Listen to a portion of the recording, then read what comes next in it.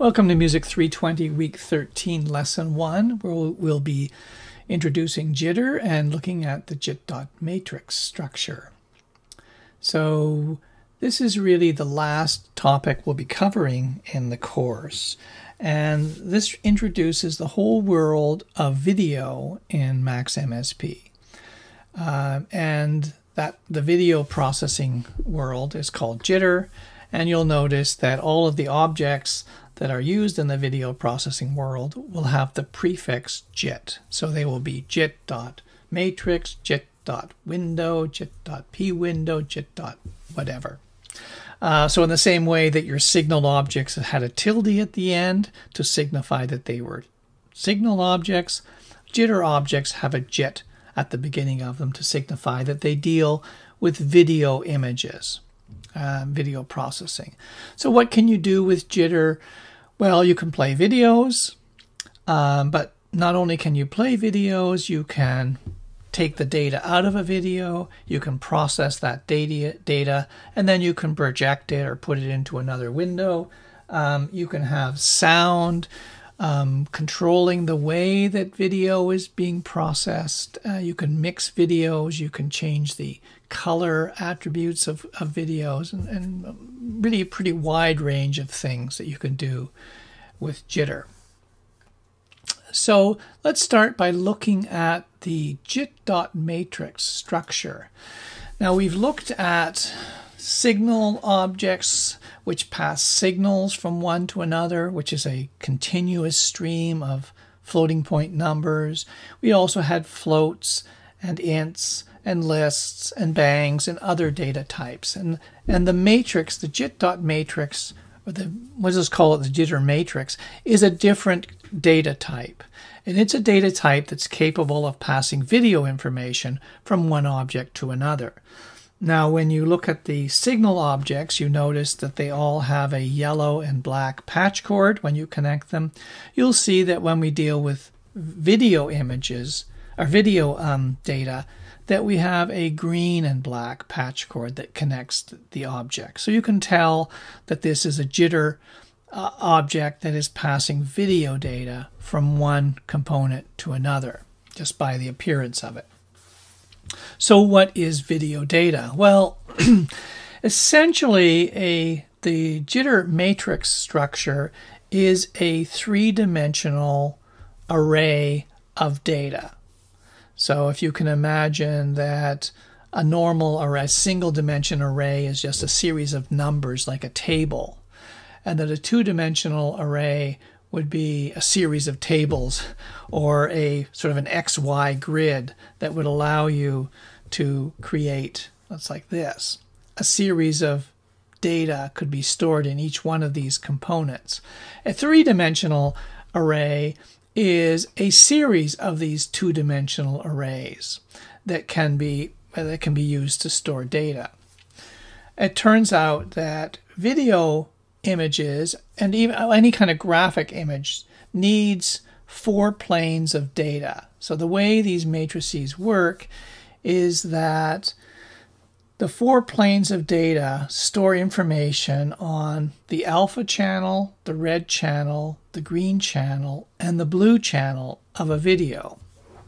And that each plane contains dimensions which represent each pixel of the video. So in this example, I have a jitter matrix that is four planes, each of which is four by four. So this allows me to represent four pixels of alpha, red, green, and blue. So these, uh, and we need all of these in order to render or to represent a four by four, a tiny window of video. So just to, to, to make that clear, we have four by four grid, which think of this as representing a very tiny corner of a video. And then we have four planes so that we can store information on the color of each of the pixels.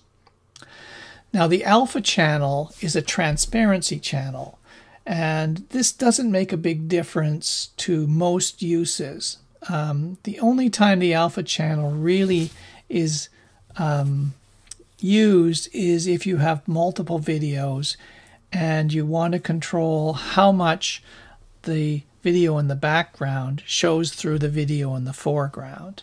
So under normal situations, you don't have to worry too much about the alpha channel, but think of this as a range of values between um, absolutely transparent to being totally opaque. Now the range of values that's in in the in each of these planes, they're all between 0 and 255. It's data that's stored in a single byte.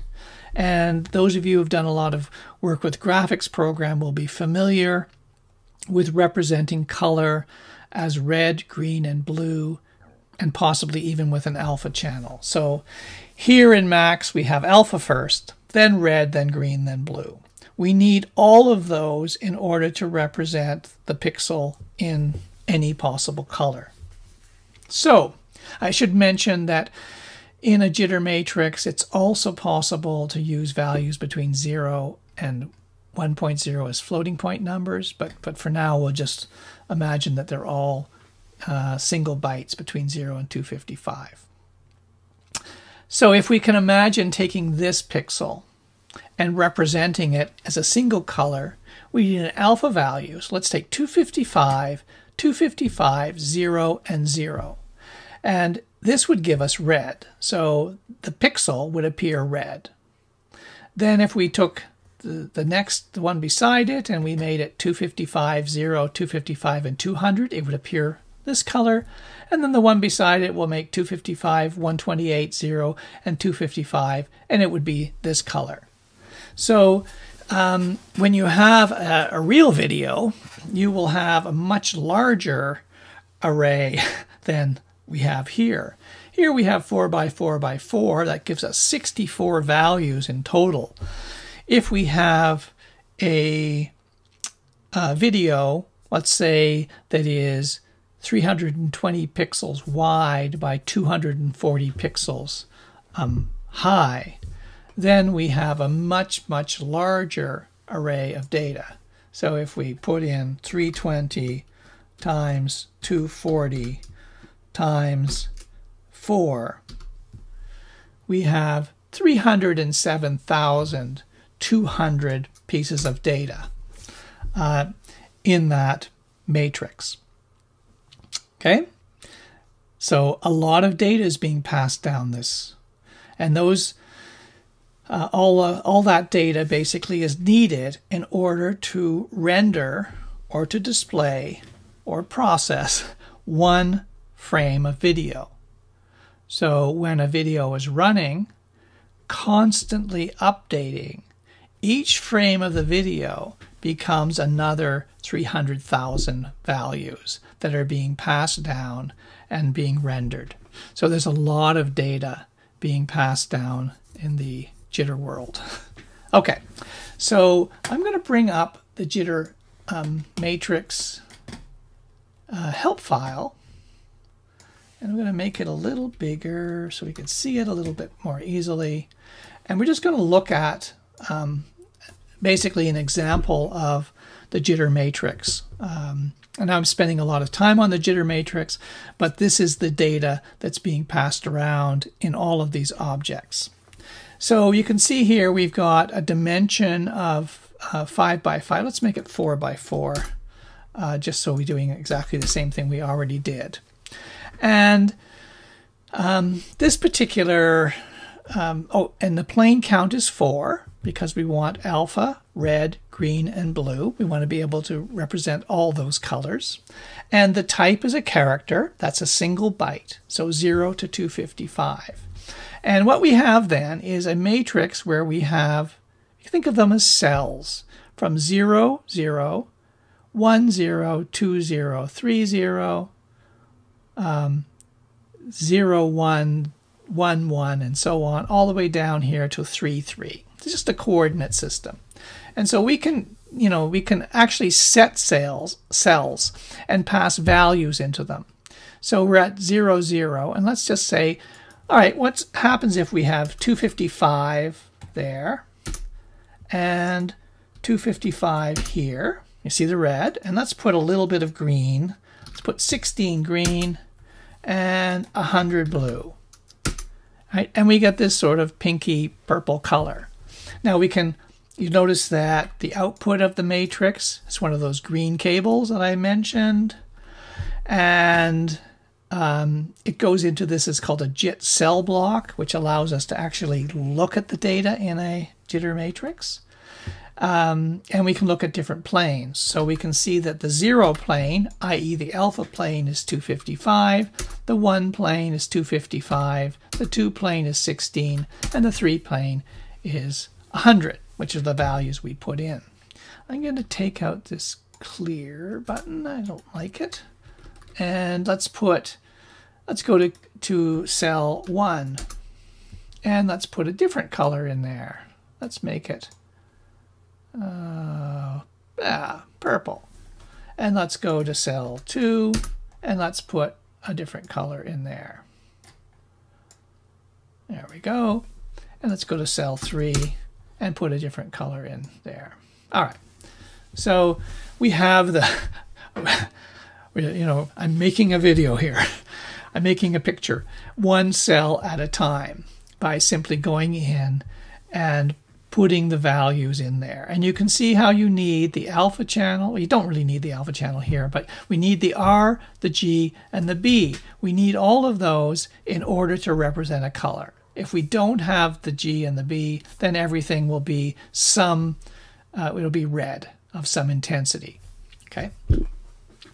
Uh, so for example, if we if we look go back here, I'm going to make let's let's actually make this one zero and zero and 0. Notice that it's black. Um, if I make it 255, 255, and 255, it becomes white. So when RGB is 0, uh, we have black. When RGB is 255, we have white. And then any combination. Those of you who've played with this before will know like 128, 128, 128 will give you a gray color and so on. Right? Um, so that's basically the the matrix object in a nutshell. Um, it can be used for uh, um, generating video, but but more often for taking video out of a video player and then manipulating.